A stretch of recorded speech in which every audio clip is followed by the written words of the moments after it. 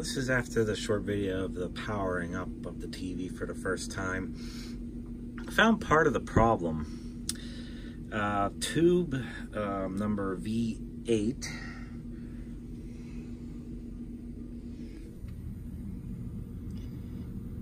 which is the sixth video IF amp.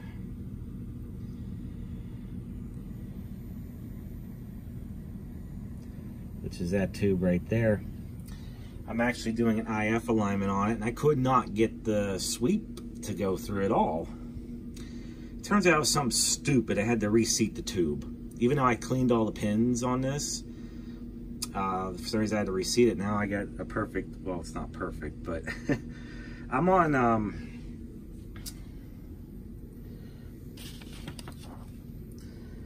step six now on video IF alignment.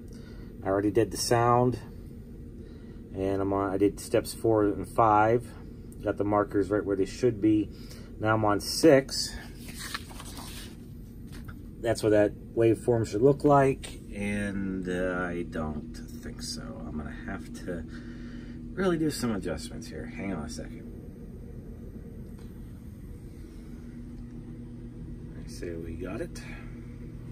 Made little IF loading blocks and that's the one for the white ones for the DeMod probe.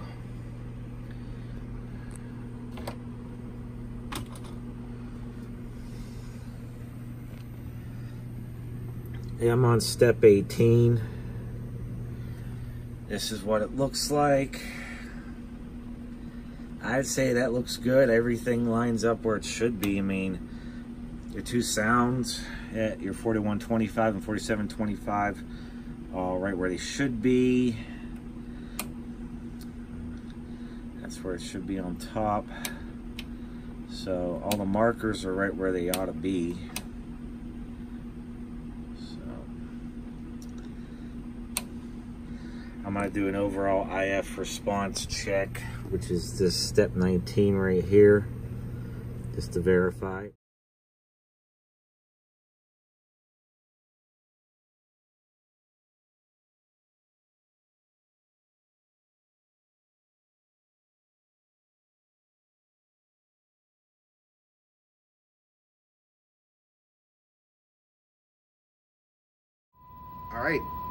It's, what'd you say? It's out of phase, but there's color.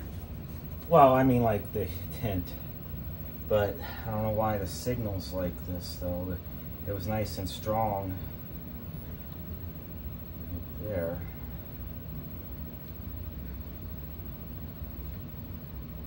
I gotta zoom in close because the my phone's actually not picking it up as color until I zoom in. Yeah. So got something going on, but why?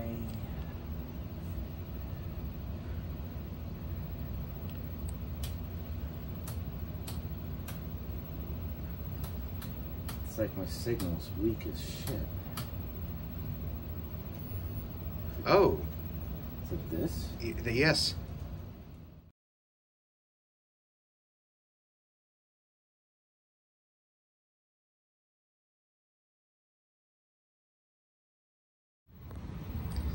After a good many adjustments later, uh, this is the part I needed to show, but I'm doing convergence right now. But let me back up to a few things that happened. Um, TV's been on probably more like than 10 hours already with no problems. I did change pretty much all the tubes out in the um, high voltage and sweep sections with new old stock. Uh, just some weird little issues here and there that I just tried swapping some tubes and it improved greatly.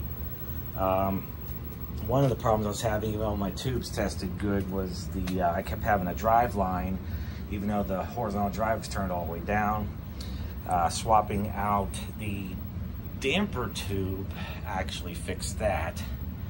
Um, and uh, I, my, my shunt regulator is actually bad. Uh, even though when I put it in, it tested fine. Um, Now I have a Rocksteady 19 and a half kilovolt. Is actually running, uh, well, it's going all over the place with brightness levels. And um, after I put the new shunt regulator in, it was actually too high, turned it down. It's been fine. Uh, the only other things I've done so far was grayscale and um, few and a few other things. Uh, I, oh yeah, my RF AGC tube is 6A and 8 uh, was actually um, bad. It was actually delaminating inside. Like the mica material was actually peeling off in there and it was shorting to the heater. Move the leads around, I mean, it caused a short. But that line you see in the picture there is not from the horizontal drive. That's the tuner, and that is a separate issue. Um, my IF is perfect, but my RF uh, tuning uh, slugs on the strips all need adjusted because every channel is different and it's all over the place. So, and I'll show you what I mean. Something must have cycled on right there. The lights blink too. Because um, there's a freezer and air conditioning and the dehumidifier is turned on. So who knows, something pulled power. But uh, one of the requests I got was how do you do convergence on this TV? It actually took me over an hour just to do the static convergence. First thing you gotta do is your um, purity. And your purity coil sits a quarter inch on that inside ring from the base of the neck. And the same thing as like uh, any modern set, the yoke, yeah loosen it and slide it back till you just have a little blotch in the center of the screen. And then you actually use the cross purity adjustment right there. And in addition to lightly rotating the purity coil to you get the minimum amount or the best, you know, red or any color thereof in the middle. But you also want to use the least amount of current on the purity coil so it doesn't interfere with other functions of the TV. That's true, that control is almost at minimum. Slide the yoke back forward. I did the uh, field neutralization coil and got that perfect. Purity wasn't bad. To do um, your static convergence, those three screws, which I'm showing right there, are actually magnets and that um, knob screw in the middle is to just lock it in place. Of course, you have your blue, your green on the left, red on the right. And going by the manual SAMs here,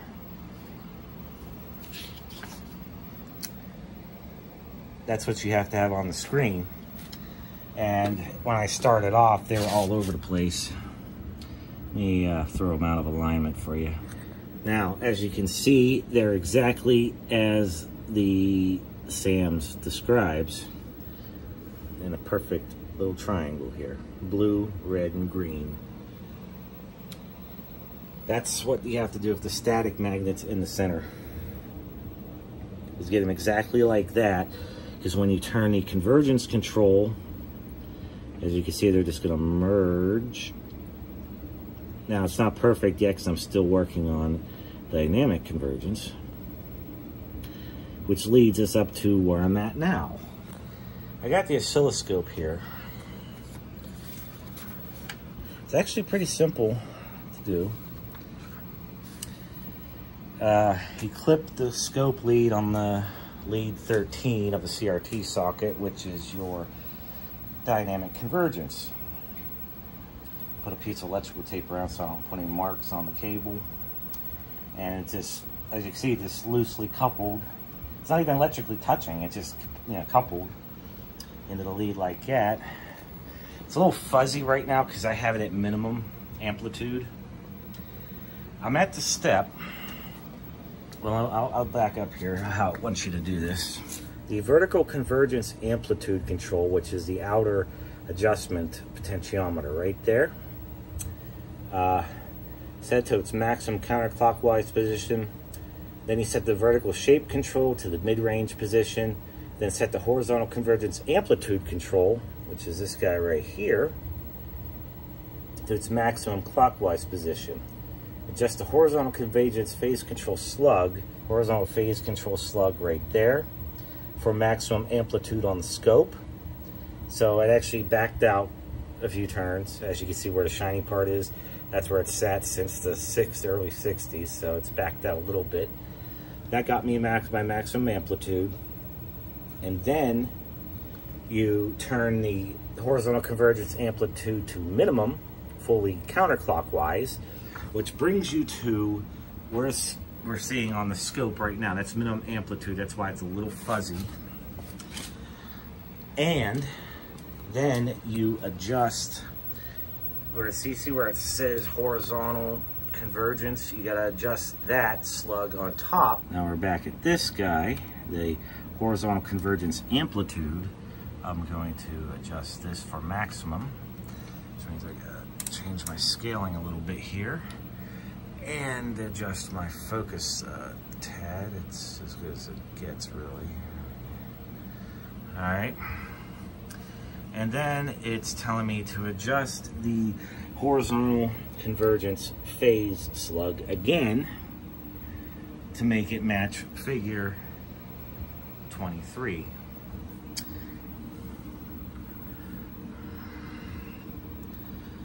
Hmm.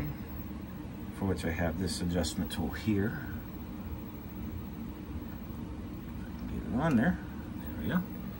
And let's see what we got it does exactly the same thing. Yeah, you can see when it gets out of phase right there.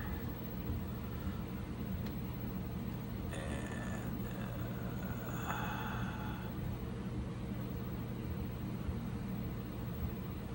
it was pretty much good right where it was at.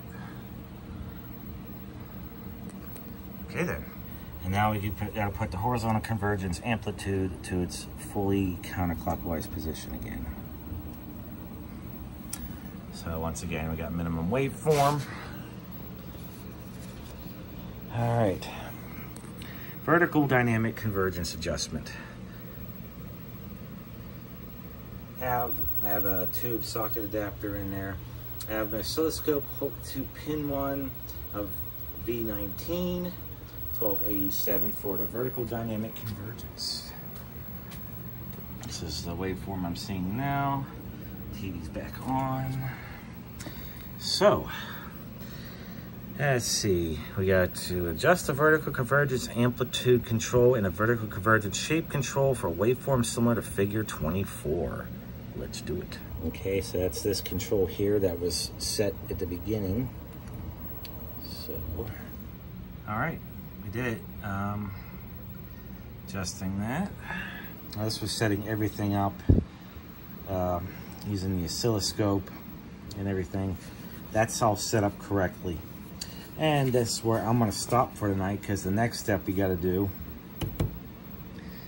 now you gotta make those adjustments ever so slightly based on what the screen is doing. They're right where they should be like right now and you just don't want to deviate too far from that but center's pretty good. But you get out to there. So going by the oscilloscope you know, settings that's pretty good in the middle. Pretty good general overall like around this it's only on the extremes we got some issues with so that's where we're gonna pick up tomorrow And now we're to do the high voltage test. Um, black screen, brightness and contrast, turn all the way down. So we just uh, try to do this while watching it. About 19 and a half kilovolts. So that's dead on. And this is calibrated. Turning the uh, high voltage control on maximum, it gets to about uh, 21 to 22 kV, so it's working well within the range it should be. next thing I noticed that was odd on doing the dynamic convergence setup, like I'll turn the brightness back up, and we got a little, so you can, little raster there, turn the contrast up. We got the dots. Um, is my waveform is inverted. Now I turned the amplitude down to where convergence looked really good. And again, this is just the electrical setup, not the visual setup, the final setup of the um, convergence. That is the vertical convergence output tube. And where I was measuring if the other waveform was on pin one, which connects to the vertical convergence transformer from the plate. And okay, so there's a waveform at pin two on the grid, uh, W18. Okay, there's W18. And that right there is the correct waveform and, the, and it's not inverted. Uh, I'm gonna say it's a mistake in both the SAMs and the RCA manual because convergence is actually working correctly. Um, at first I was concerned about the uh, convergence transformer. Um, the problem being uh, this one wasn't labeled like all the other ones by uh, John Folsom. And it had a red labeled one, a black labeled two, and I have it where one goes to the uh, fuse on the high voltage cage, two goes to pin one of the uh, that convergence tube. I thought you know, because it was a little confusing. Because actually I had to ring out all the resistances of the windings to make sure I had it wired right, in addition to following the wiring diagram on one of the restoration sites. So I flipped it around and I got the waveform he had, but convergence was all wrong. Uh, on the vertical. So put the wiring back and convergence works perfectly. My waveform does match the SAMs and RCA service manuals. It's just it's inverted. Um, but everything else is correct, including this waveform here going up to it. So I'm gonna lead that to a mistake, which is very likely. Now, this is the grid here. Um, as you can see, it's pretty close now. I mean, it's obviously fringing at the bottom and top, but it ain't too bad. And that's just doing it electrically. Uh, now, next steps you got to do is visually adjust it. And that's where we're going to end this particular video. I'll play a video clip to show you how well it performs now. Uh, the next part of this video is going to be wrapping up everything and a thank you to everybody who has contributed to this project and showing what they had contributed. Um, I don't have the safety glass on the front. So cosmetically almost done. Electrically just convergence and the tuner issue with the RF alignment, which I'll take care of, and it's done. We ordered some wire mesh that is very similar to what was on there originally and we are going to make our own back panel and make a cup to go around the CRT neck so it'll be pretty close to what was in there originally there's going to be a same wire mesh on the bottom uh, that's supposed to be uh, you know protecting the chassis underneath and I got, I'm gonna use the same stuff to build the cage for the high voltage. But other than what you're seeing here, this thing is almost done. It's just doing the final convergence tweaks. Like I said, as you can see here, it ain't too bad considering, you know, like I said, I just followed the electrical alignment, which basically gets the all the convergence controls within the range they're supposed to be. So yeah, uh, so I'm gonna play a short clip here to wrap this video up. Man, oh man, what I would have given to be Rick's wingman, to have flown with the greatest.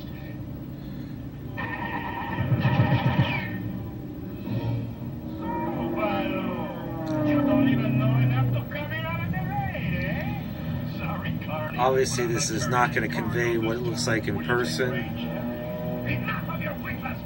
In fact, the, the color on this TV is overloading the camera, even though I set the exposure for it. The reds, again, are truly incredible. As you can see, the picture is really stable. Those lines are from Macrovision. Uh, I'm playing an official DVD here. But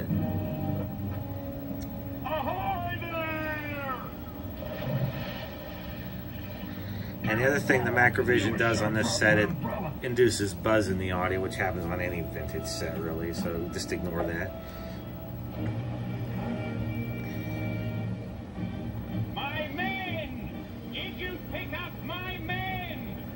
I probably ran this TV for 15 hours now, and it's never given a single hiccup. See, even though the convergence, I still have to do the visual adjustment of it, doing it electrically as we did earlier. It's pretty damn close. Wow, I haven't seen a black jacket like that in years. And how does it compare? I mean, other thing, like, the sharpness on this, as you can see, is very good. And then a little bit of noise from the tuner, which still needs adjusting. I mean, look at that. I've got a couple of guys on my tail. Last I remember, my men and I were hauling a shipment of So yeah, next video will be the final Then we ran into parts where convergence is done, which is really it for adjustments. Oh, and then, and then the tuner, and then ah, the Great War. all cosmetic pieces put back on it. You're pulling my ripcord, right? Just who are you? Where are my manners? Captain Rick I'm just really happy about Squadron of this. Seven. oh, yeah, right. And I'm Amelia Bearheart, leader of the Loonies. I tell you, I am Rick Sky. Oh, get out of here. Sky'd be at least 50. The thing um, it's also unique to what's about this, the picture tube is still round, but when he did the the shadow mask is flat everyone figured he was inside. If you go to the side here, you can kind of see that. It's kind of weird seeing it like that.